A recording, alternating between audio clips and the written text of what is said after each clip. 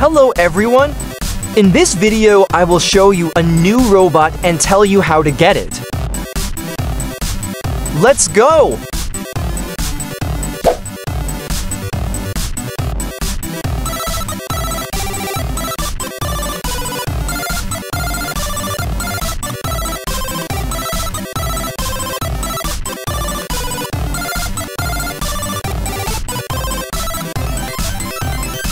To get this robot, you will need to download the mod from the link in the description.